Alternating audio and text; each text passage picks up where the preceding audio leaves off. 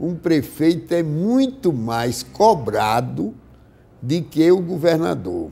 Porque o prefeito é facilmente encontrado, ou no seu gabinete, ou então porque ele tem que visitar os bairros, as obras.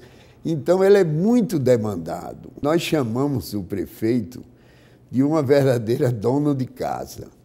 Ele tem que manter a cidade limpa, bem arrumada e principalmente porque, no caso da minha cidade, o foco maior é o turismo, no que toca à sua economia.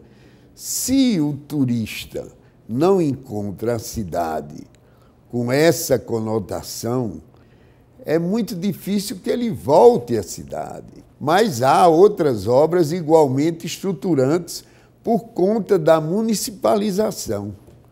Porque hoje a saúde é municipal. Os recursos são carreados para o Estado, mas, sobretudo, para os municípios, principalmente do interior.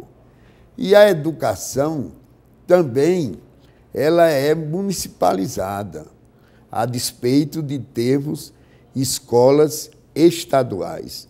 Então, os deveres do governante municipal são deveres de uma responsabilidade muito grande.